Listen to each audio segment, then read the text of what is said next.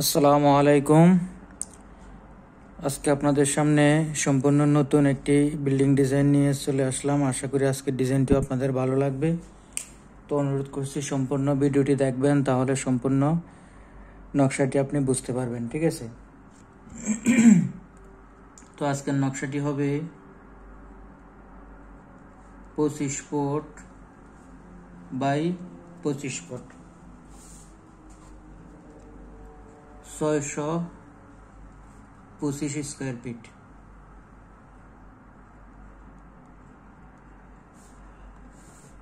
okay three bedroom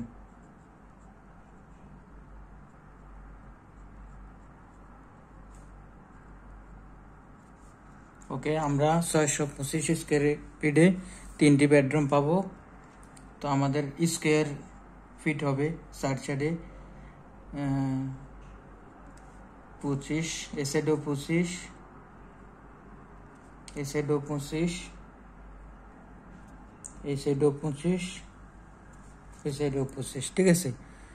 তো তো এবার আমরা প্রথমে বিল্ডিংয়ের ওয়ালগুলা কালার করে নিব।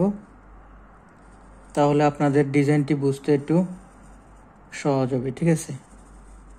তো অনুরোধ করছি সম্পূর্ণ ভিডিওটি দেখবেন। তাহলে সম্পূর্ণ নকশাটি আপনি বুঝতে পারবেন, ঠিক আছে? যদি একটু দেখে বেরিয়ে যান অথবা কেটে কেটে দেখেন, তাহলে আপনি নকশাটি বুঝতে পারবেন না সম্পূর্ণ, ঠিক আছে? তো আমি চেষ্টা করব আপনাদেরকে সম্পূর্ণ নকশাটি স্টেপ বাই স্টেপ বুঝিয়ে দেওয়ার, প্লাস বিল্ডিংটি একতলা কমপ্লিট করতে কত টাকা খরচ হতে পারে, মোটামুটি সঠিক একটি ধারণা বের করে দেওয়ার, ঠিক আছে? তো আপনারা চাইলে বিল্ডিংটি ডুপ্লেক্স করতে পারেন। বিল্ডিংটি ডুপ্লেক্স সিস্টেমে হয়েছে। যদি কেউ ডুপ্লেক্স করার ইচ্ছা থাকে, তাহলে এবার এটি ডুপ্লেক্সে করতে পারেন। ঠিক আছে, আশা করি খুব সুন্দর একটি ডিজাইন হবে।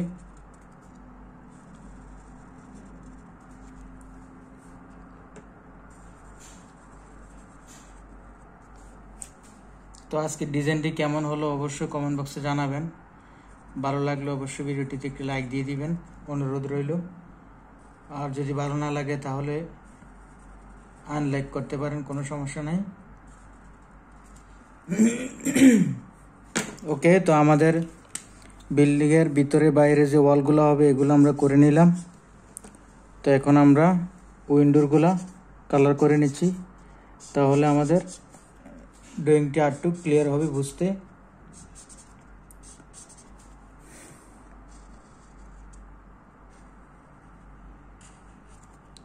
ওকে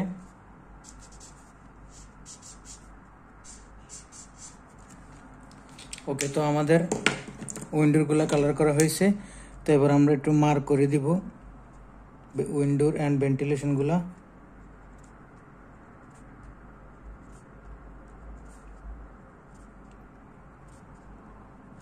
ওকে তো আমরা উইন্ডোরগুলো মার্ক করে নিলাম। তো এবার আমরা ভিতরে ঢোকার যে মেন গেটটি দেখব দেখে নিব। ওকে তো এই সাইডে হবে আমাদের গেটটা ঠিক আছে? তো আমরা সাদে উঠা সিঁড়িটি পাবো এই সাইডে তো আশা করি আমরা উইন্ডোর অ্যান্ড ভেন্টিলেশনগুলো বুঝতে পেরেছি। তো এবার আমরা ভিতরের ডোরগুলো দেখে নিব। কোন সাইড থেকে ডোরগুলো আপনারা দিবেন? আমি একটু দেখাই দিচ্ছি আপনাদেরকে। তো একটু কষ্ট করে ধৈর্য ধরে ভিডিওটা সম্পূর্ণ দেখবেন। ওকে, তো আমরা ভিতরের ডোরগুলা দেখে নিলাম। টয়লেট অ্যান্ড কিচেনের ডোর তিরিশ ইঞ্চি করে দিলে হবে।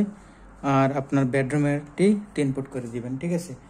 তো এবার আমরা সর্বপ্রথম রুমগুলো সিলেক্ট করব এবং রুমের মাপগুলো সিলেক্ট করব, ঠিক আছে?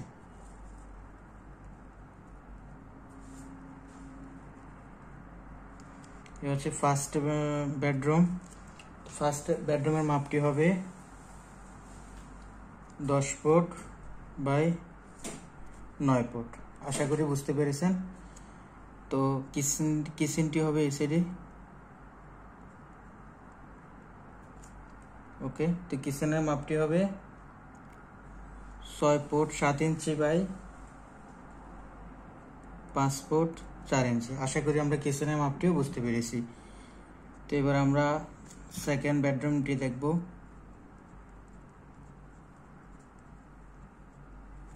ওকে তো সেকেন্ড বেডরুমের মাপটি হবে এই সাইডে দশ ফুট অ্যান্ড এই সাইডে নয় ফুট। ঠিক আছে? তো থার্ড বেডরুমটি দেখব।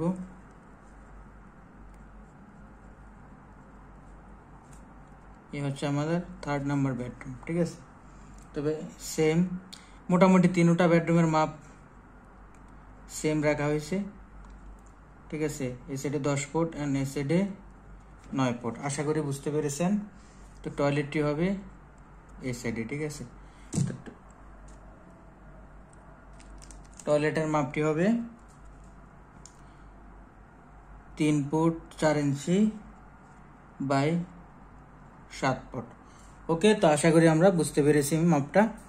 তো ডাইনিং অ্যান্ড ড্রয়িংয়ের মাপটি আমরা দেখে নেব। তো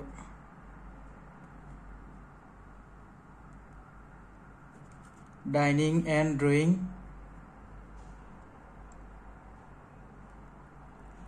একসঙ্গে থাকবে আমাদের, ঠিক আছে?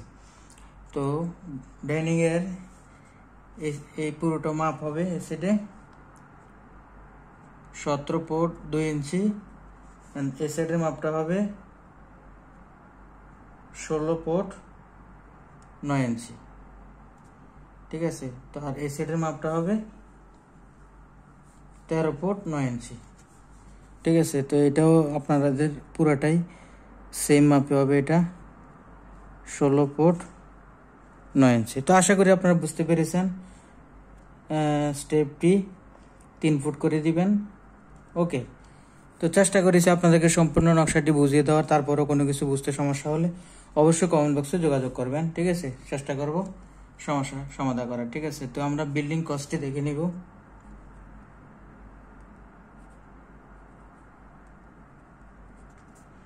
বিল্ডিং কস্ট আসবে দশ লক্ষ থেকে বারো লক্ষ টাকার মতো, এগারো লক্ষ টাকার মতো, ঠিক আছে? তো আশা করি আপনারা সম্পূর্ণ নকশাটি বুঝতে পেরেছেন। ভালো লাগলে অবশ্যই লাইক দিয়ে শেয়ার করে দিবেন। আর ভালো না লাগলে অবশ্যই ডিসলাইকও করতে পারেন, কোনো সমস্যা নাই। তো পরবর্তীতে কেমন ডিজাইন দেখতে চান অবশ্যই যোগাযোগ করবেন কমেন্ট বক্সে চেষ্টা করব করে দেওয়ার। তো আজকের মতো এখানে বিদায় নিচ্ছি, আল্লাহ হাফেজ।